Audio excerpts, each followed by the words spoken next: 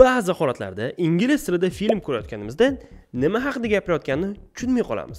Uyga qanaqadir kulgili narsa gapirishadi lekin hazil nima haqida edi nima bu kulgili bilmaymiz. Ho'p okey so'zlarni tarjima qilamiz. Qaysi qanaqa qilib? Ну yaxshilab eshitamiz nima deganini eshitib ko'ramiz. Unaqa holatda ham tushunarsiz bo'ladi chunki so'zdan tarjima qilyapmiz lekin nimagadir baribir kulgili emas. Va buni sababi oddiy bo'lishi mumkin. Bu ularning pop ya'ni mashhur madaniyatini bilmaslik ya'ni ommaviy madaniyatini tushunmaslik ularni tarixi madaniyati bilan bog'liq bo'lgan qanaqadir hazillarni bilmaslik oqibati. Ya'ni siz hamma aytayotgan gapini bilasiz lekin ularni o'zini ichidagi ichki hazilni tushunmaysiz. Shundan tarjima qilsangiz ham kulgili bo'lmaydi. Ho'p buning uchun nima qilish kerak? Bitta yaxshi yo'li bor siz o'sha mamlakatda uch to'rt yil yashashingiz kerak keyin hammasini tushunib bilib ketasiz. Endi to'g'ri buni hamma qila olmaydi hamma ham borib yasha olmaydi boshqa yo'li ham bor u ham bo'lsa amerika madaniyatiga boy bo'lgan tarixiy ahamiyatga ega bo'lgan filmlarni videolarni ko'plab tomosha qilish. Va biz bugun shunaqa filmlardan bittasini ko'ramiz va buni siz tomosha qilsangiz ham ingliz tilingizni yaxshilaysiz ham ularni madaniyatini juda ham ancha yaxshi bilib olasiz. If you ready let's go.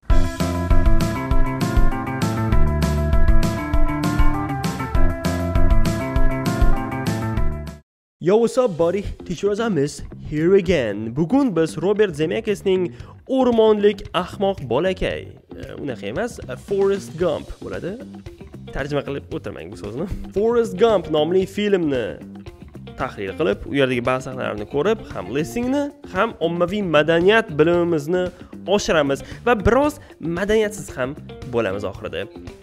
Let's go. My mom always said life was like a box of chocolates. You never know what you're gonna get. My mama always said life is like a box of chocolates. You never know what you're gonna get. Ha, meni eng sevimli filmdagi um, sitatalardan biri va o'zi umuman e, eng buyuk kinotitatalar safiga ham kiritilgan aslida bu hozirgi eshitgan joyingiz. E, Ma'nosi oddiy e, bu yerda fonga nay qo'ysanglar zo'r chiqadi. Onam doim aytardilar hayot bu bir korobka shokoladga o'xshaydi ichidan nima chiqishini bilmaysan. Mashhur imdb saytida 8.8 balli reyting bilan insoniyat tarixida olingan filmlar ro'yxatida 11 o'rinda turuvchi 11 eng yaxshi film bo'lib turuvchi ushbu film Forrest Gump 1994 yil 6 iyulda man tug'ilgandan 2 kundan keyin dunyo yuzini ko'rgan. To'g'ri, bu kino mendan 2 yoshga 2 kunga kichkina bo'lsa ham, lekin dovrug'i ancha muncha. Dovrug' nima qilinadi? Nima bo'ladi dovrug'? Dovrug'i anchagina keng menimcha. Aytgancha keyin bu film 94-yilgi Oscarda eng qiyin yil hisoblanadi o'zi 94 yilgi Oscar. Ju- chunki juda ham ko'plab klassik buyuk filmlar hammasi bir yilga tiqilib qolgan yil. O'shanda yilning yaxshi kinosi bo'lib 6 ta Oscar yutib ketib qolgan. And the Oscar goes to Tom Hanks and Forrest Gump. 94 yilda Forrest Gumpdan tashqari yana Shawshankdan qochish Qirol sher kriminalniy чтиво o'zbekchalar bilmadim nima bo'ladi. Mm, detektiv kitob pop Fiction xullas. Mana shu filmdan hammasi ham qo'yilgan bo'lgan. Davom etishdan avval bitta foydali ma'lumot bilan ulashmoqchi edim. Yaqinda o'zim duch kelgan muammo, e, ish ko'p, e, har u yoqda maktab, bu yerda kontent va juda ham charchadim va uchib ketgim keldi issiq mamlakatlarga va shu may oylarida, iyunlarda reja qilib turibman. Shu qayerdan bilet e, va mehmonxonalarni yaxshi, bundoq tez, qulay buyurtma qilsa bo'ladi deb o'tirdim. Ha, aviasales uz boshqa variant yo'q. Eng qulay, eng optimal variant shu. Oxirgi yillarda hech kimga endi sir emas, hamma o'rganib bo'ldi. aviasales uzdan ham biletlarni, ham mehmonxonani buyurtma qilib ketish ham выгодный financially ham tez hal bo'ladi. Va yana bitta menga ma'qul tushgan joyi bu ularni ilovasining interfeysi. Hammasi qulay. O'sha odam uchun qilingan. Qachon uchib ketasiz, qachon kelmoqchisiz, qayerga bormoqchisiz, qanaqa mehmonxonaga nechta, nechta yotog'i bo'lsin, hammasi bemalol, hammasini ko'rib tanlab olavering.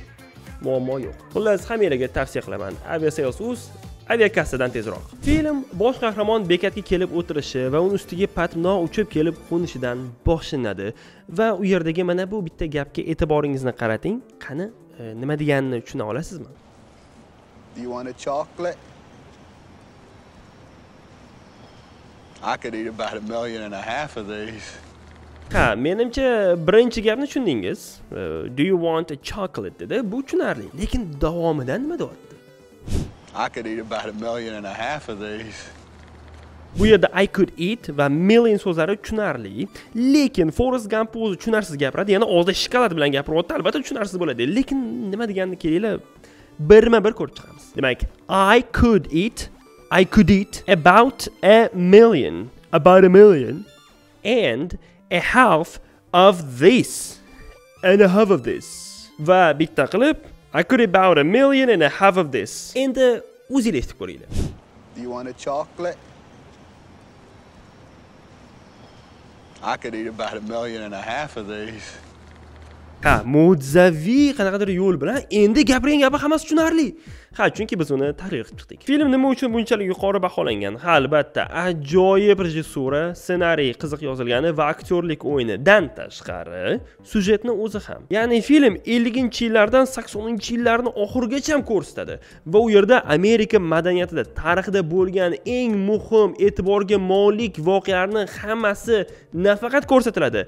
Hamma voqealardan forrest gampni o'zi ishtirok etib o'tib chiqadi. Kennedining o'limi watergate mojarosi vyetnamdagi urush hammasida ishtirok etgan bo'ladi. Oq tanli va qora tanlilar segregatsiyasi bilan bog'liq bo'lgan. Oq tanli emas mm.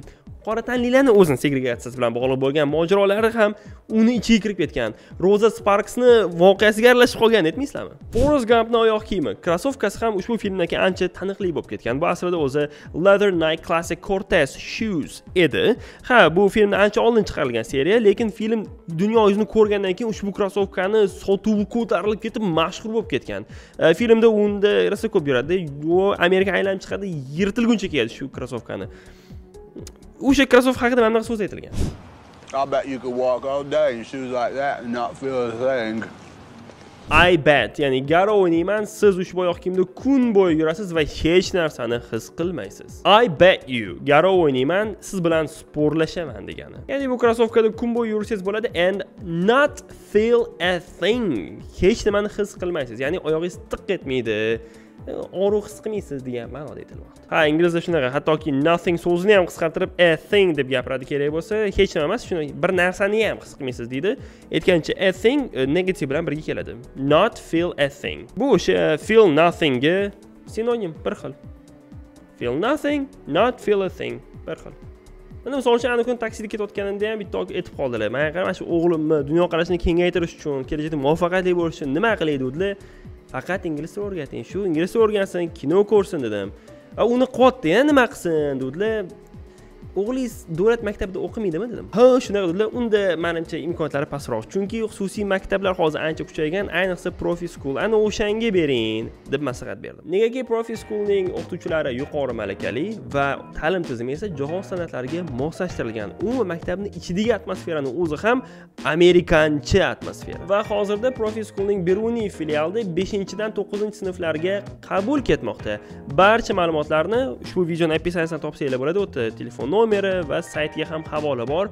Kirib ko'rishinglar mumkin. O'zinglar o'zinglar ishonchinglar komil bo'ladi. Ha forest gam ham maktabga borish kerak edi. Lekin u biroz aqli pastroq IQsi past chiqqani uchun oddiy maktabga bora olmasdi. Lekin oyisi tanish bilish qilib bir amallab baribir maktabga olib kirib qo'ygan. O'zbek kanallarida forest gamni ko'rganimda hech tushunmasdim. Qanaqasiga oyisi olib kirib qo'ydi maktabga deb. Lekin agar sizlar internetdan topib ko'rsanglar bilasizlar qanaqa yo'l bilan olib kirgan maktabni bitirgandan keyin tez yugurgani yuguravergani uchun universitetga olishadi. U yerda chunki amerikancha futbol o'ynash kerak bo'ladi.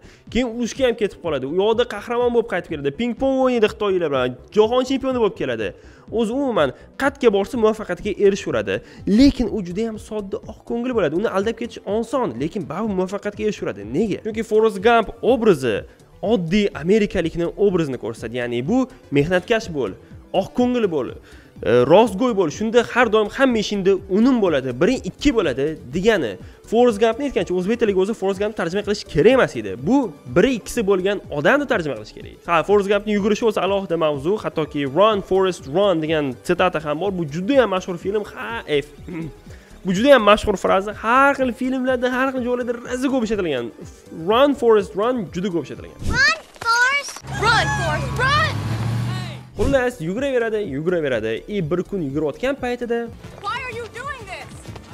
I just felt like running. I just feel like running deydi I just feel like. Man yugurishdagi his qilyapman. What? No. I just feel like and verb ing formasi ishlatilganda man hozir shunaqa qiyim kelyapti degan ma'noni anglatadi. I just feel like eating pizza bo'lsa "Mm, odam odamni ko'ngli pizzani tusyaptimi degan ma'noda keladi yoki i just feel like doing nothing bo'lsa hech nima qiyin kelyapti hech nima qiyin kelmayapti yotgim kelyapti degan ma'noda ishlatish mumkin ana endi mana bu sahnaga alohida e'tibor qaratishingizni so'rardim Uh, here he is, Forrest Gump, right here. Forrest Ha, Gump? bu yerda Forrest Gumpni mashhur shouga taklif qilishgan. U yerda qanaqadir bitta odam ham o'tiribdi. Lennon, Jon Lennon, Beatlesni Jon Lennon-ku. Forrest Gump? John Lennon.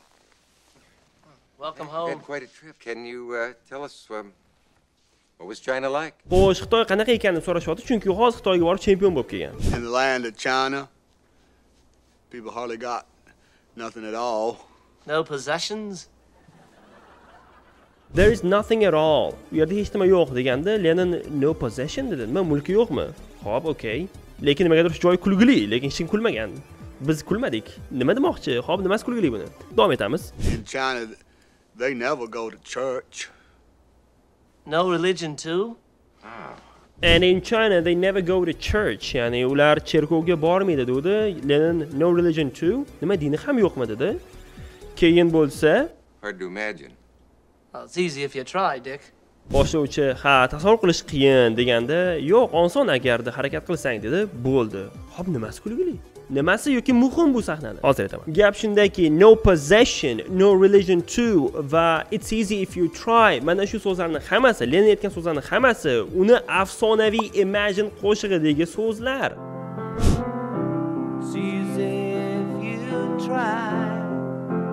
Ya'ni aytmoqchiki jon lennon forrest gamp bilan suhbatdan keyin imagine qo'shig'iga ilhom olgan keyin yozgan shundan keyin demoqchi bizaga mana nimaga bu sahna kulgili agar siz ularni ommaviy madaniyatini bilsangiz sizga bu sahna kulgili bo'lardi Some years later, that nice young man from England was on his way home to see his little boy and was signing some autographs for no particular reason at all. Somebody shot him.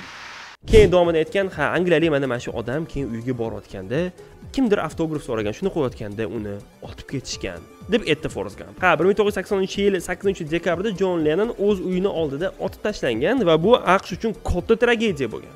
Mana shunga e'tibor qaratilmoqda. Bitta fakt aytaman e, o'n beshinchi yil aqshda bo'lganimda lennonni uyiga borganman shu nyu yorkdagi. Shu otib ketilgan joyda turganman. O'tirib turib o'ylanib turganman. Ha 45 yil oldin shu yerda yo'q e, 90